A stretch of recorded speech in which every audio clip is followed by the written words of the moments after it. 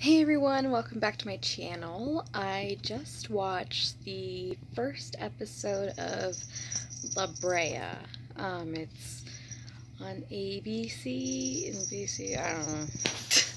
That's just how much I paid attention. Um, interesting. Not sure what I think about it yet. Um, it's kind of like they're like the movie The Lake House. Honestly, I never watched it, um, but it is like that, where like there is like a central point and these people communicate between the past and the present. I don't know. If you don't know anything about it, there's like the first five minutes have been released. You can watch it on your own. Um, they fell into a sinkhole. Like a bunch of people fell into a sinkhole in the middle of LA. And the ex-husband is um, able to he has a connection to that world so he's able to see the people over there and I I literally just watched it and honestly I can't like describe everything that happened. There's weird animals there like they they found birds that escaped from like the um, vortex thingy.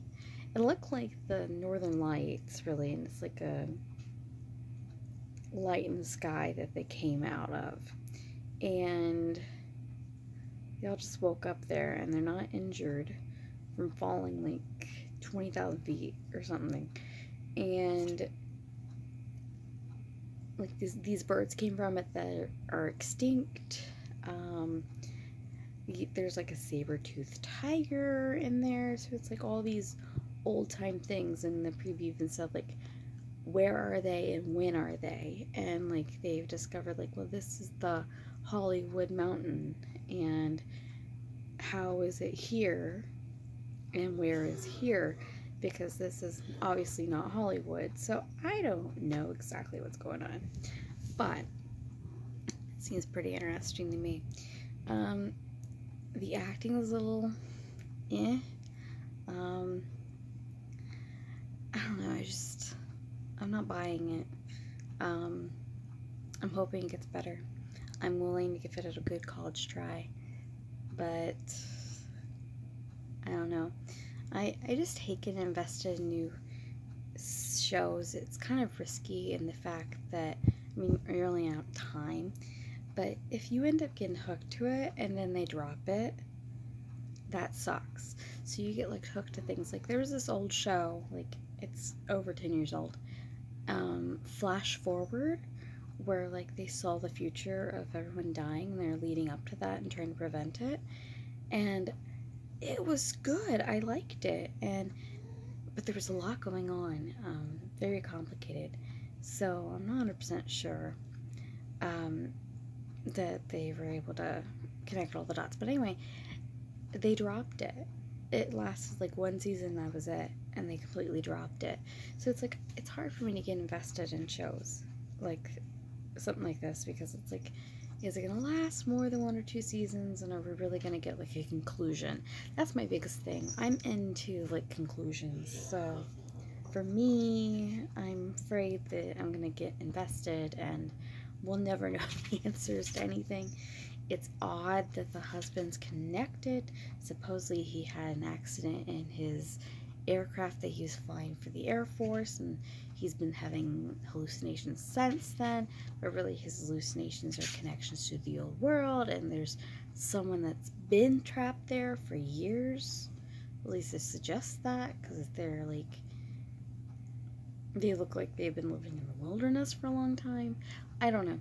It's only an hour long. Um, it's on Tuesdays.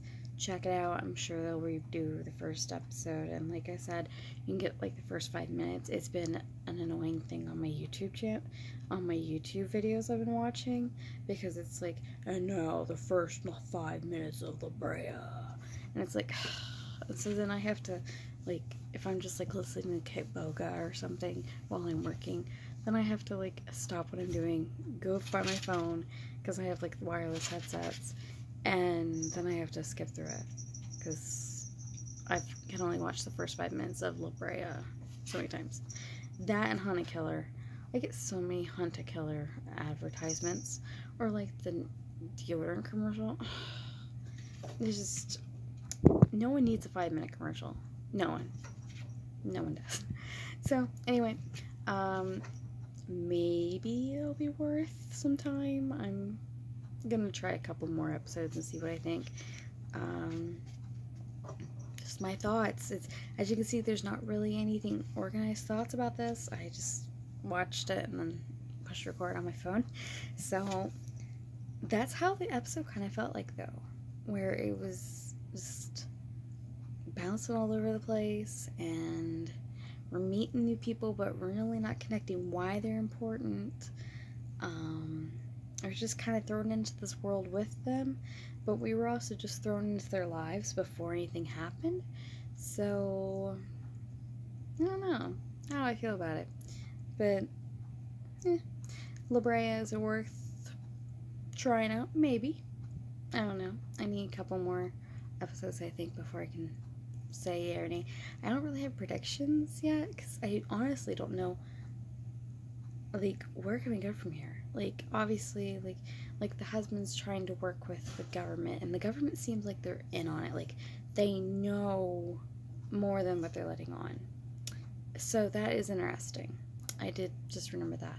So the government's like, how does he know about this? Or we told the press what they needed to know. They don't need to know everything.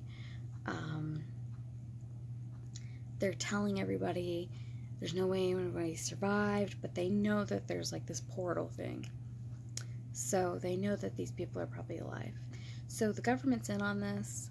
We don't know exactly why or what's going on, but that is an interesting um, twist to it. So it might get better. I don't know. I just can't see us going very far in this just because it's going to be like, okay, we're watching them survive and trying to figure out how to get out, and then the people on the opposite side are trying to figure out how to get in to get them out. Um, the government might throw some twists in there somewhere, I don't know. But it just seems like there's only so much you can do with this idea. So, and like, you can have relationships and stuff like that, but it just feels like there's not much there. But let me know what if you saw it and what you thought. Um, I'll keep checking it out. and Let you know if anything else good with it comes on. Alright guys, it's on Tuesdays at like 9 o'clock, so I stayed up late to watch this. um, I'm the kind of person, I am the age where it's 8.30 and you want to start a movie now age, so yeah. Bye!